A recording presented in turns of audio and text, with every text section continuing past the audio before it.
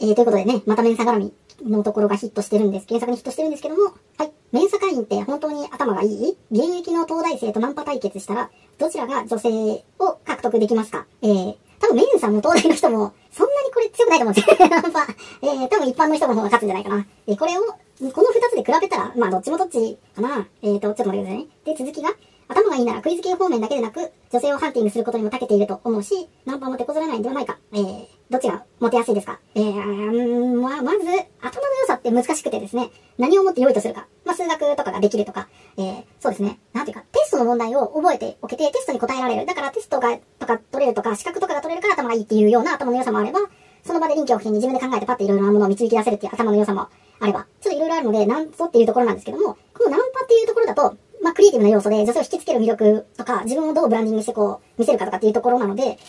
ちょっとですね、個々の能力にはよりますが、が、えー、メンサとで現役の東大生どちらがモテやすいですか？友達にどっちもいますが、どっちもモテてないです。はい。えー、普通の人の方がモテますね。いや、まあなんかその、東大生ですって言ってモテるのって将来性を見据えて、この人東大だからいいところに就職して、えー、お金持ちになるんじゃないかっていうのが昔は、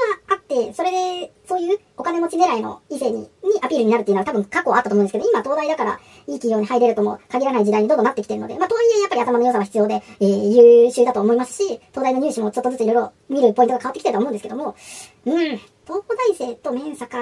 少なくとも東大生は、ちょっと僕受けてたことないんでわかんないんですけど、その学生生活を送れるっていうところで、こう、共同生活を送っているっていうところの社会性はあると思うんですよね。メンサは、僕がメンサでわかるんですけど、これ人とは一緒にやっていけないだろうっていうトリッキーな人もいるので、どっちかって言ったら、えー、東大生の方がまだコミュニケーション能力、総合的に言ったらですね、あるんじゃないかなと。もちろんメンサでもテレビ出てる人とか、すごいコミュ力高い人もいるので、まあケースバイケースなんですけども、っていうような形ですね。ちょっと答えが、えー、パッと出しづらいものでした。